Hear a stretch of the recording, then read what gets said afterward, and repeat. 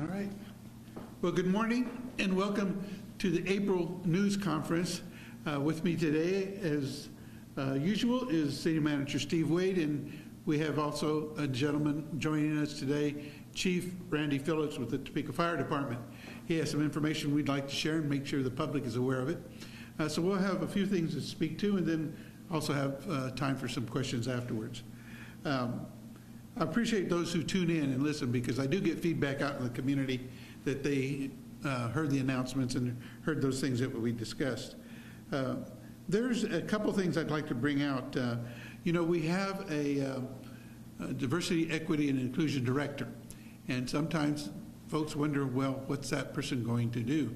Well, he's been very, very busy uh, working in the community, uh, and literally, he and I were shoulder to shoulder, along with uh, my executive assistant Jane Murray and others, staff, uh, cleaning up uh, some of the campsites around town uh, in recognition of Earth Day. Uh, If you were able to see that piece that we uh, had on our channel, I spoke and asked to the citizens to help us keep the rest of the city clean. And we were doing those things specifically for the campsites, but it's an observation that I think a lot of people have said that uh, our city seems sometimes to have more trash than it needs, and that's just on the sidewalks and the streets, because there's a habit that some people have that if I'm done with my can of Coke, I can just toss it out the window and leave it for somebody else to pick up. That builds up in a short amount of time, and it sends the wrong message about how we feel about our city. So I'm going to encourage people to do everything they can to take care of their homes, their property, their businesses, and show some respect for the rest of the citizens in helping to keep our city clean. So for the city staff and all those who uh, uh, took the time to observe Earth Day, I thank them. Uh, I'd like to also now speak about uh, uh, another thing the Diversity Equity uh, Director did, and that is that he's working on a workshop for procurement, how to work, uh, win bids or how to work with the city of Topeka to get uh, bids. And he is conducting a workshop along with GTP, a Greater Topeka Partnership, that will be in Spanish because we recognize that there is a need to have that information available to all and to give some equity to the opportunities that might be there for them. And so that uh, is going to be taking place uh, at the Greater Topeka Partnership, I believe from, uh, let's see, uh, May 11th, I think is when that is. But you can check online and get the exact date uh, for that workshop. I appreciate that effort on his part. Uh, He also has been joining me at a number of speaking engagements so that I can uh, introduce him to even more people in the city of Topeka.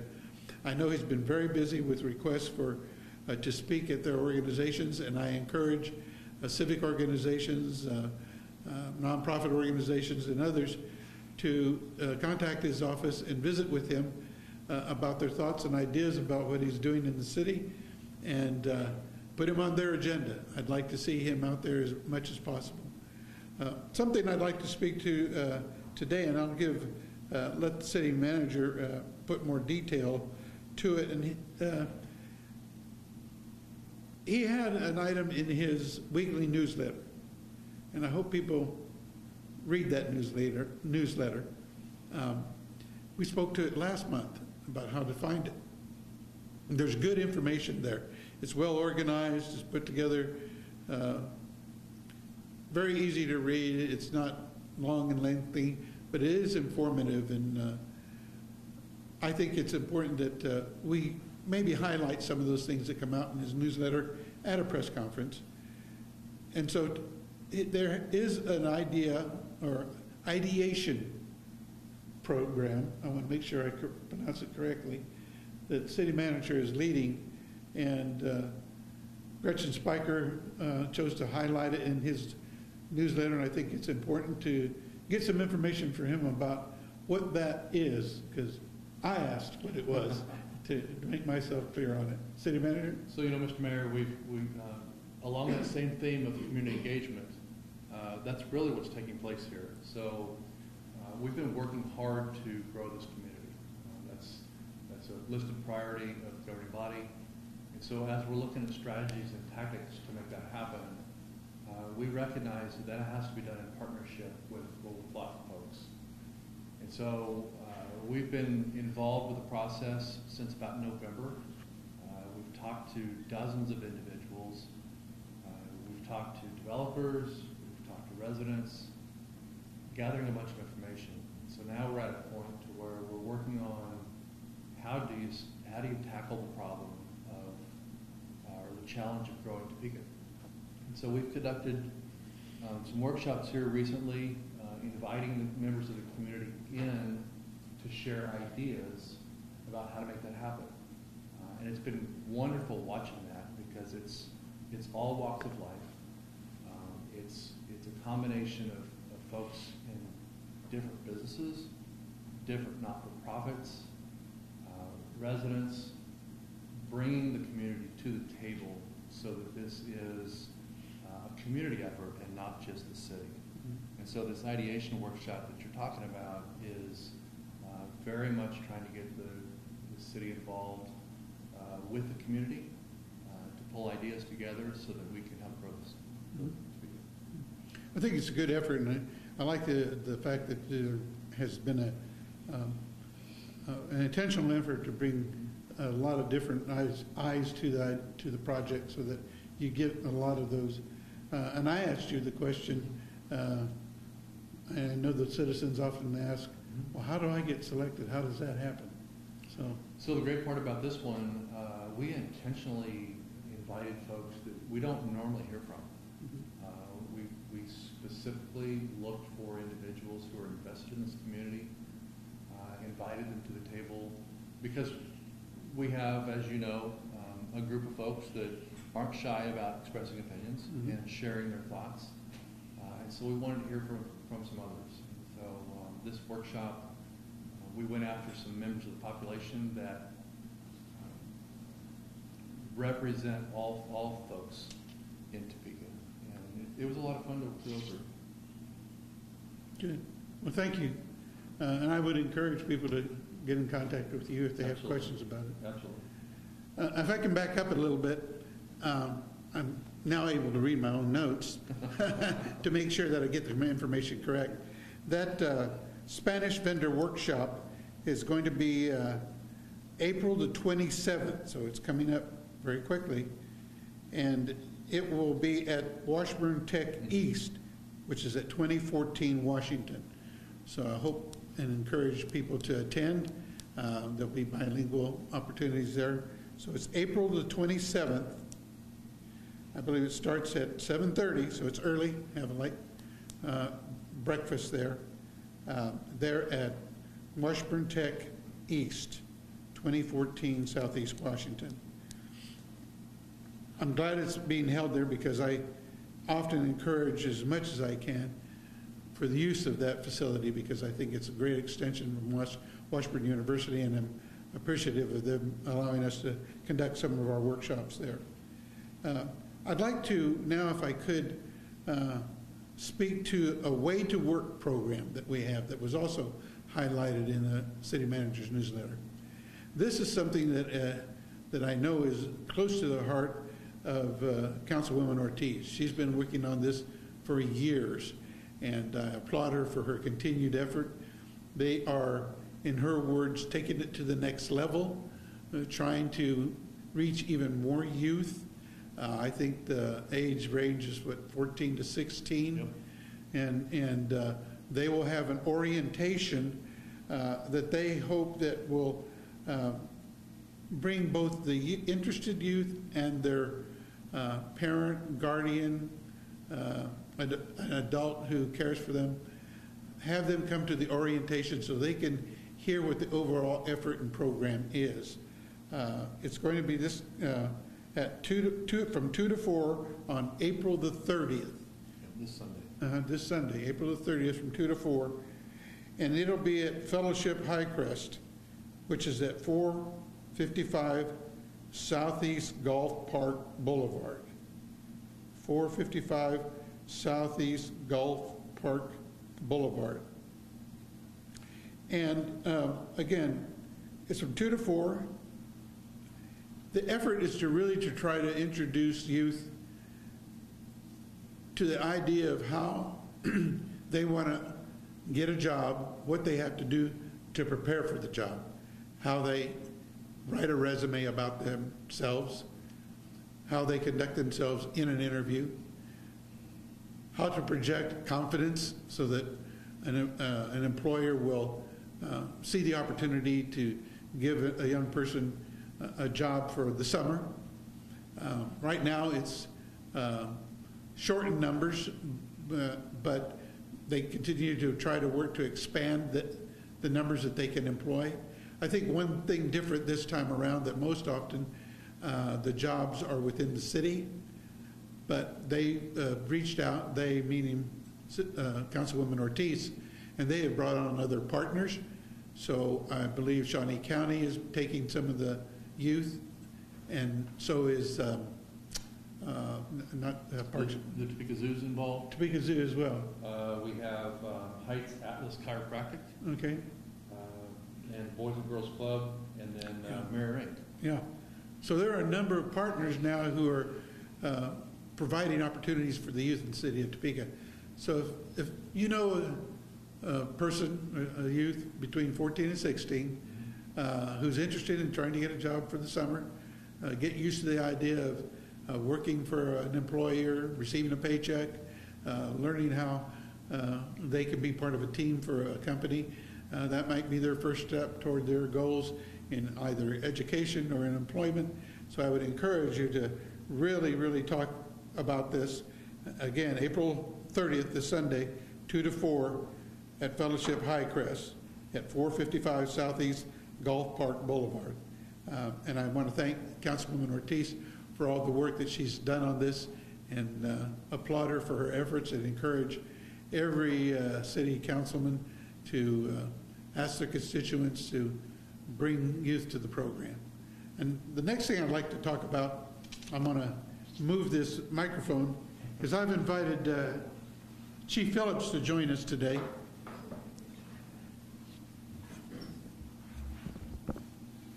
Chief and I have uh, visited before about a program that uh, I think he's very proud of, and I, I uh, am very proud of him for implementing it, implementing it, and that is Camp Courage, and that is a, uh, an effort to try and reach out and bring more females into the profession of fire service.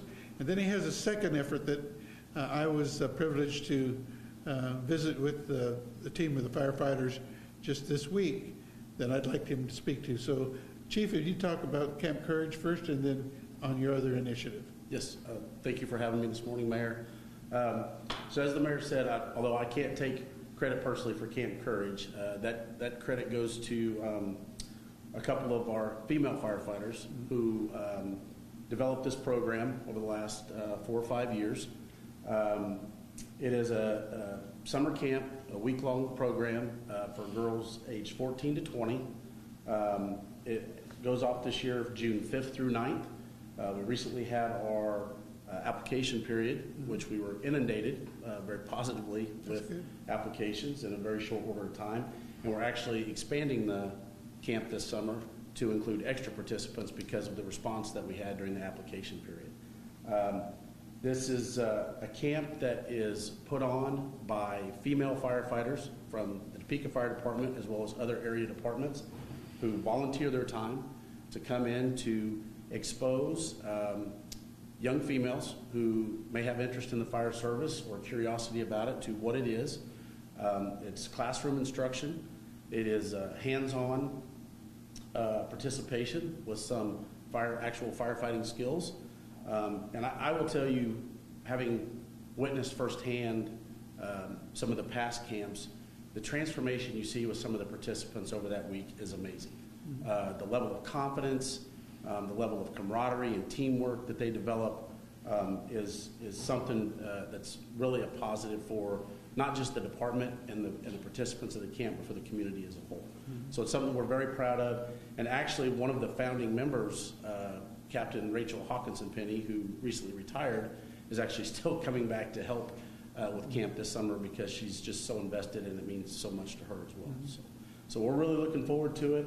Um, we've already had some discussions with the city manager about next year, about maybe uh, ways we can even continue to grow uh, the program and, and to make sure that we're being uh, as inclusive as we can be and reaching as broad a base as we can uh, across the community for girls to participate. Yeah, I, I'm glad that you mentioned uh, Captain Penny, because I think that that is important uh, to note that uh, not only did she work well with that and, and and has come back, uh, that uh, she's somebody I sought out, and uh, she has agreed to serve on our Civil Service Commission, so she's continuing to be a leader for the firefighter profession, and so I'm appreciative that she's with us on that commission as well.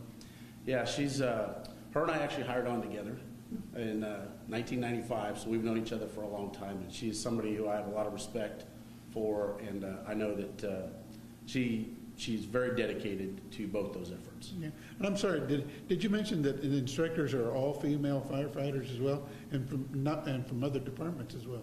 Yes, so uh, it, it's uh, all female firefighters, uh, females firefighters from the city of Topeka, as well as some of the surrounding township departments. Um, And then uh, we also have had firefighters from Lawrence who have come over and helped as well. That's good. Well, thank you for that, and then your other initiative is something else that I, I'd like to see in the department as well. Thank you. Uh, And it's one that I am very proud of. Um, This week is our second offering of what we call ODP, or Officer Development Program. It's an internally developed program uh, by staff led by Division Chief Chuck Gatewood. When um, I was appointed as chief right approximately 13 months ago, uh, I talked about it during my interview, and one of my uh, priorities was the development of our personnel, professional development of our personnel. It's not something that historically the department has always been the best with, and um, it's an effort by us uh, to work towards developing the future leaders of the department. And we felt like there was no better place to start than at the initial company officer level. So um, we did some internal surveying uh, across the entire department that helped us develop the curriculum as well as the instructor cadre. Uh, and um, it's a week-long program. Uh, it's going on this week. Um, that will touch on a number of topics, including leadership traits, engine and truck company operations, um, reporting, uh, computer reports, supervisor reports, how to handle communications, rules and regs, disciplinary procedures, um, and then ownership and responsibility. Um, that- That's a big key piece of this, is about taking on that leadership role as you develop and move into those, those higher ranks. Um, We've got close to 20 participants again this year. Um, These are individuals within the department who are signing up voluntarily. This is not a mandatory program that we're forcing individuals to participate in.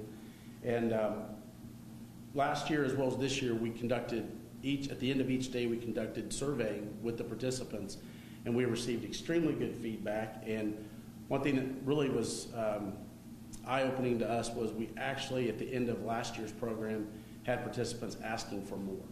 So it's something that we continue to work on and develop, but it's a, it's a great program for us. It's our own, what we would call subject matter experts within our department, um, teaching our own, teaching those future leaders and developing them.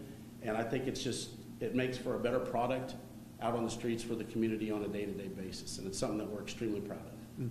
Thank you, Chief, I appreciate that, because I do think that that's something that uh, peop- the people like to hear, is that uh, all of our uh, service providers and all the professions that we have for the department are in a continual learning mode and trying to improve what they're doing and better serve the community. So I thank you for that program. I think it's important for us to let everyone know about it.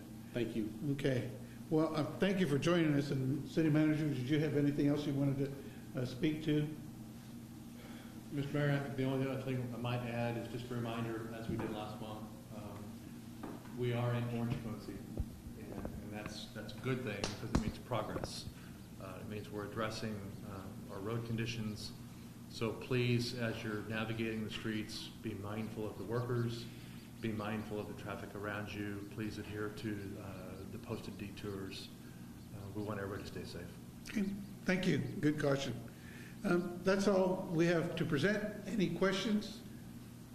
Got two for you today, Mayor. Mhm. So uh, first off, Colorado Springs visited that Topeka City Council recently. So what was learned from that rescue mission, re- rescue mission visit, and what takeaways and implementations is the city of Topeka looking to bring back here stateside? Okay, well, I'll let city manager speak to it, and then I have some comments as well. Yeah, so I, I, there, there was a wealth of information. Uh, we looked at a, a shelter in Colorado Springs. We also looked at shelters in Denver, Colorado.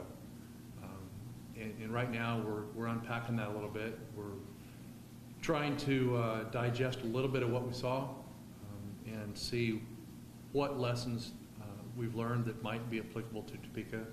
So it's a little premature right now to uh, draw that line, but uh, it was a, it was a very impactful trip. Uh, For my part, I know that uh, there's some anticipation in the community uh, about a report that we may get, or we will get from uh, a consultant. And I think maybe the emphasis has been that, well, once we get that report, we're going to do something. Well, we're not waiting for that report.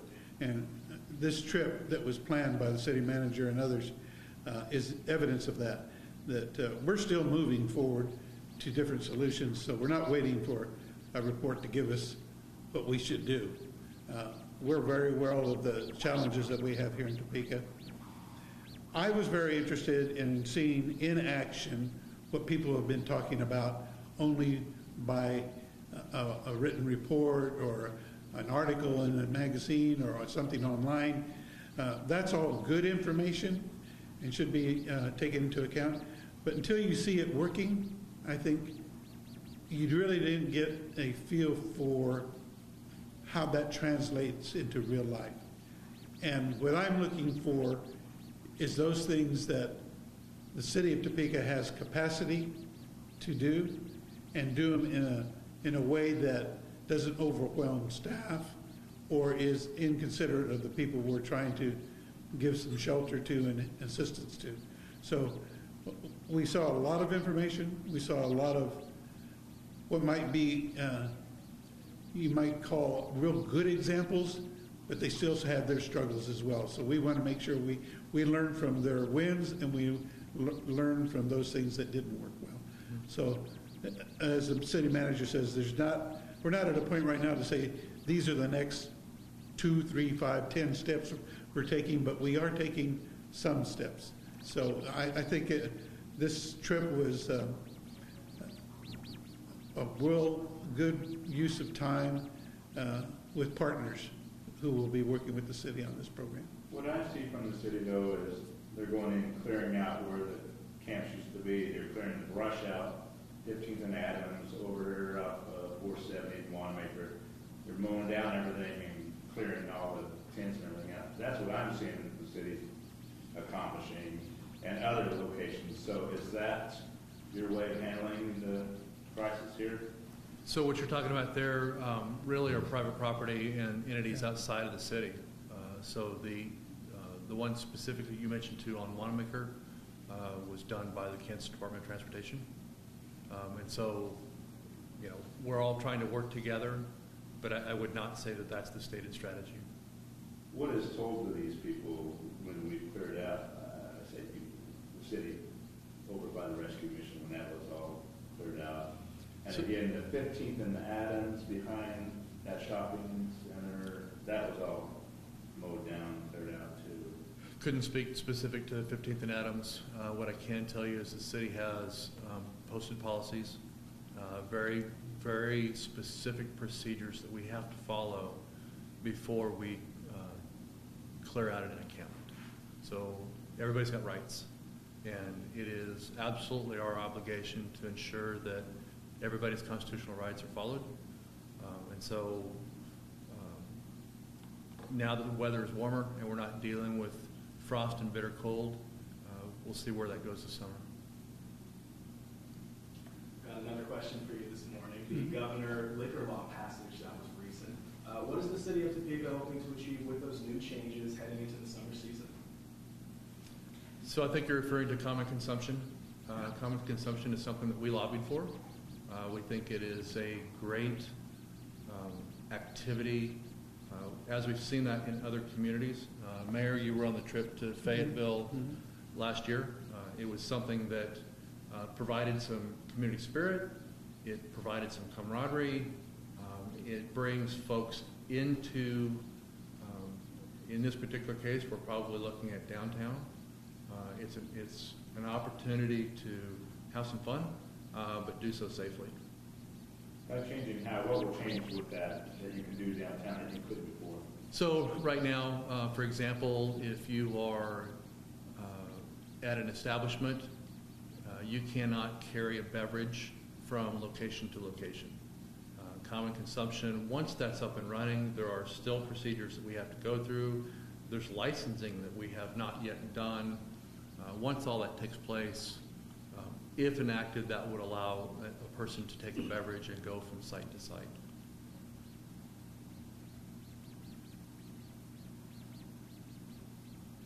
Okay. No further questions?